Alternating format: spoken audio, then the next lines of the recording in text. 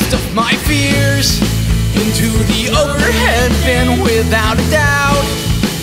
No, I wouldn't let them in, cause I am getting on this train and I am moving on again.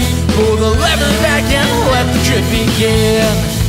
Well, I'm far away from the green and all burnt fields and I've thoughts of lies.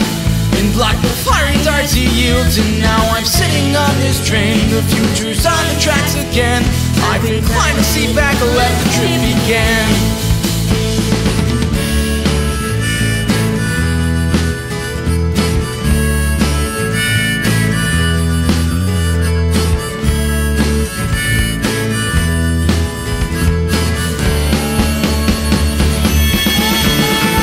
dare say